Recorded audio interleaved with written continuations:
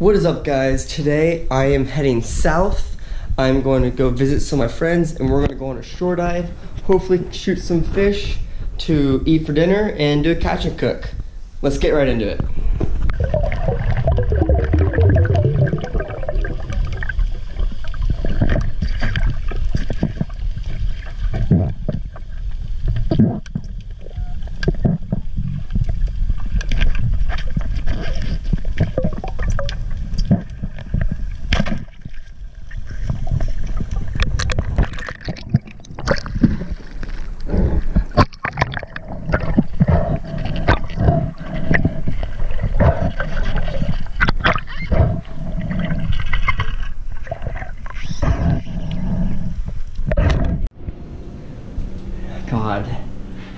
Hate talking on camera. I'm getting better at it though. I though. think barbecue fish sounds good.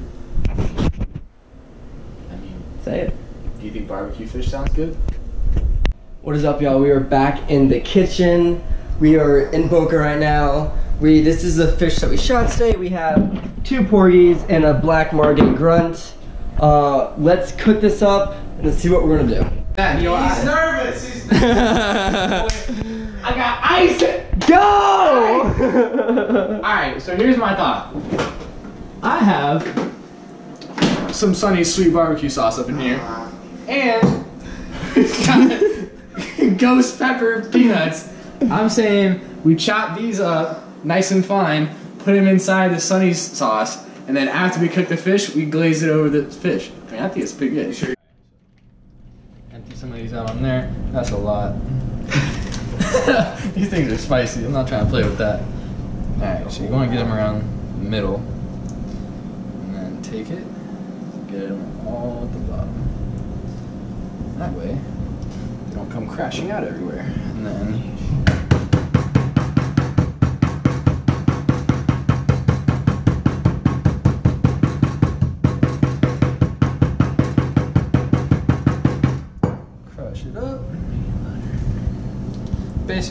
Butter.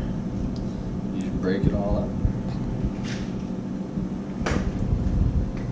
Don't touch your eyes if you're using ghost peppers. Probably not a good idea. Wash your hands off. Now, take you some of this sweet barbecue sauce. Pour it in the container. That should be more than enough. So, now, take this. and Shake it. So leave some because we're gonna put that on top of the fish while we fry it. Then we're gonna stir this up. Get nice mixed up in there. That should be good. Good. Alright, now for the fish. Alright. Take a porgy out first. Nice and juicy. Kill shot.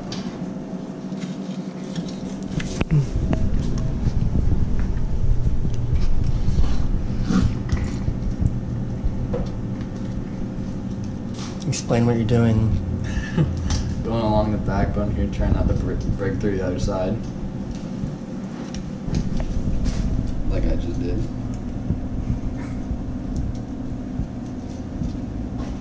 But not all hope is lost.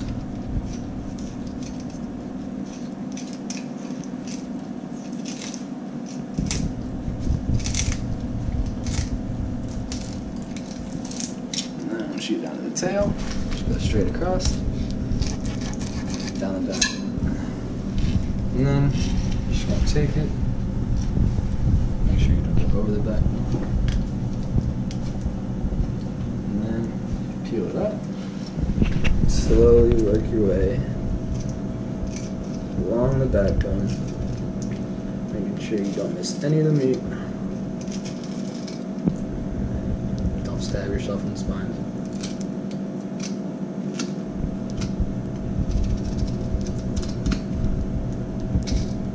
And then you're gonna go over the rib cage. Working your way. Cross the lower back bone. Dig your knife down the back so you get all the meat on the back side. Once you feel like you can get all the way through, pop through. For small fish like this, you want a flexible knife. Makes it a lot easier. And once you get here, pretty much done. Just go across a little bit.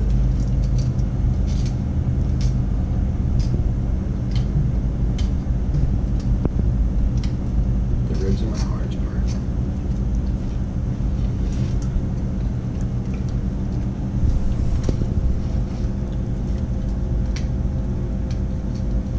Alright. So here's our first fillet. Nice, good size fillet. Got all the way down to the backbone. That's the sound you want to hear. Now, to the other side. Alright, so we got both fillets done now, and you can see right through the fish like you want it. All the way down. This one? Let's cook it up.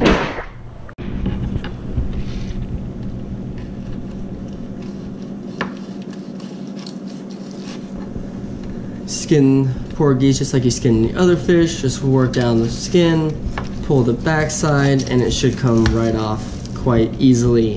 And porgies have pretty tough skin, so it's really not that hard to get through them. So, for the most part, just run your knife. Don't be too scared of it.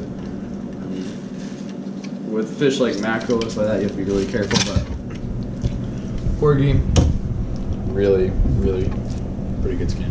No bloodline, very little. You're not gonna taste it at all. Let's get that one skinned, flay the second porgy, and let's get to cooking. What's up, guys? We have all the porgies cleaned up. Let's get them on the frying pan, and let's get this dish wrapping up together. All right, so now we're gonna just season our fish before we put it in the frying pan. So we got a little bit of black pepper, some salt, and then the all famous Everglades seasoning. So this is really just to taste, but don't be too shy with it. A lot of it'll come off when you cook it.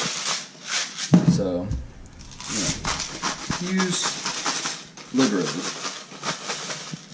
Not the bad kind of liberally. Just saying.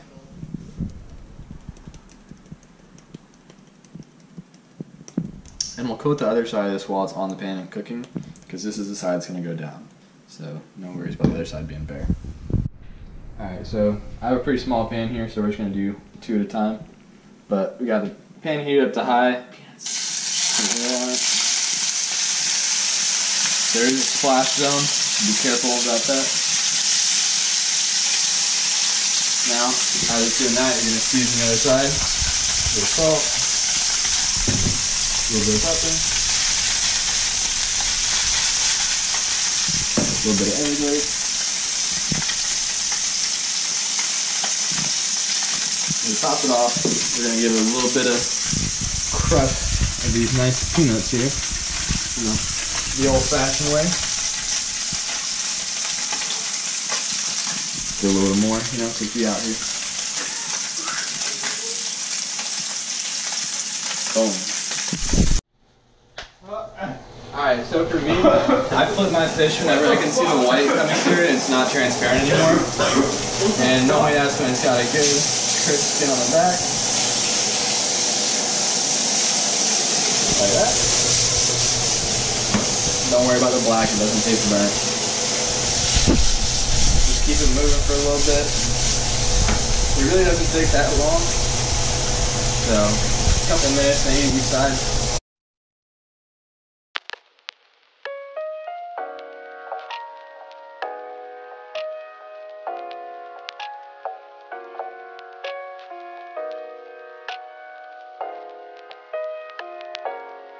Alright, we got the fish all cooked up. Let's try it and see how it tastes. Enthusiasm, gotta sell it. Sell it, Matt. Alright. So we got our fish all cooked up here. We got some blackened and then some just regular pan fried. So we're gonna take our sauce, which is again the Sonny Sweet Barbecue sauce with some ghost pepper peanuts on it can we put it over? I ain't got no fancy bristles or anything to put on this thing. So we're just going to smooth it out with a spoon. Just do it even around there. All the way over you don't want to drench it, but basically you're just going to cover each one of these. And then you're ready to serve with whatever you'd like.